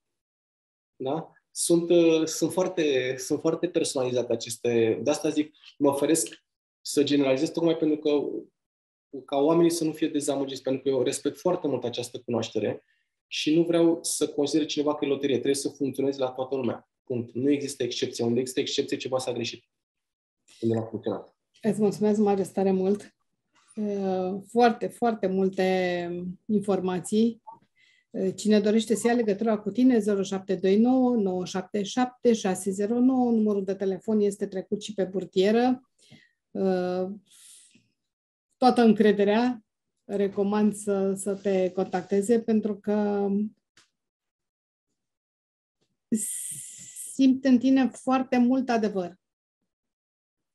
Deci ești un tip foarte puțin speculativ, deși se știe că zona asta atrage, tu te ții cât poți de departe de, de această zonă.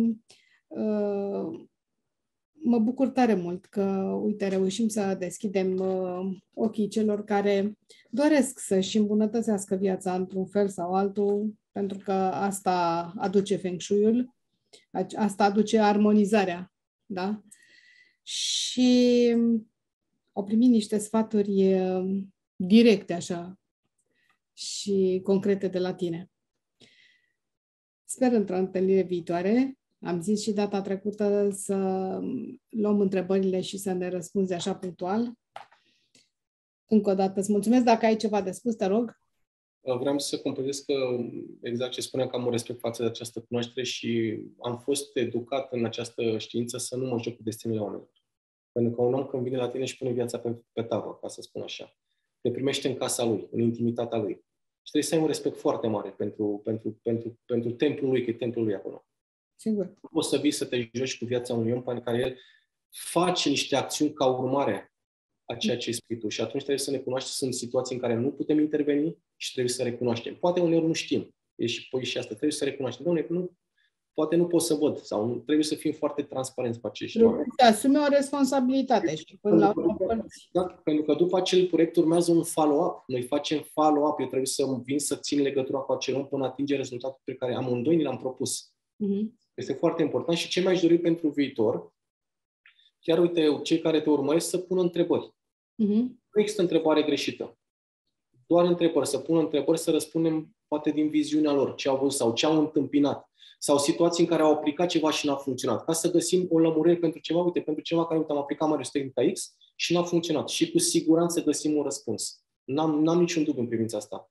Da? Chiar îi încurajez să-ți pună întrebări, orice legat de Feng Shui sau de ce vor legate de partea asta de metafizică și noi vom găsi un, un răspuns punctual de ce acolo n-a funcționat sau unde să se uite. Și o să vezi că împreună găsim foarte multe soluții și, și mai frumos, foarte simple. Îți mulțumesc tare mult, dumneavoastră vă mulțumesc că a stat alături de noi. Până săptămâna viitoare vă doresc să aveți fericire în suflet și putere în trup, să treceți cu bine peste săptămâna ce vine. O seară minunată, mulțumesc, Marius. La revedere! Bine v-am regăsit, oameni buni! Este prima filmare oficială de la mine de acasă. Uh, vă invit la mine oricând să vedeți ceva cosmic, fiindcă cyberspace-ul meu, universul meu tehnologic, se mărește cu acest dispozitiv, adus din cosmos. Nu este deloc o glumă, e vorba de o invenție uh, rusească, militară și vă spun uh, de cosmonauți și de cosmos, fiindcă legendarul nostru cosmonaut, avem și noi românii un singur cosmonaut în persoana domnului Dumitru Prunaru, el uh, prezintă acest aparat în, în România, el l-a adus, să spunem așa, și trebuie să avem toată încrederea. Nu numai atât, eu de când îl am, văd că merge exact cum uh, ați mai citit sau și eu mai mă documentasem pe uh, internet. Adică vă ajută foarte tare cu tot felul de bacterii, de mucegai, tot ceea ce aveți dumneavoastră prin casă vă incomodează și nu știți cum să uh, scăpați de aceste nenorociri. Asta în ceea ce privește uh, aerul. Deci orice fel de noxe din aer, uh, robotul ăsta deștept, să spunem așa, le rezolvă. Nu mai stați cu frică în vremurile astea tulburi în care vă gândiți în fiecare moment că dumneavoastră sau membrii ai familiei dumneavoastră se pot îmbolnăvi oricând. Mai bine băgați în priză un imunocub și scăpați de toate problemele. Și veți simți exact aerul ăla de munte puternic sau aerul uh, de lângă briza mării și de asemenea gustul alimentelor atunci când folosiți imunocubul va fi gustul ăla uh, de pe timpuri uh, atunci când totul mirosea bine, avea un gust frumos și viața era foarte, foarte frumoasă și mult mai relaxată decât astăzi. Pentru sănătatea și siguranța familiei mele, eu am ales imunocub. Nu ratați imunocub, fiindcă nici nu știți ce pierdeți.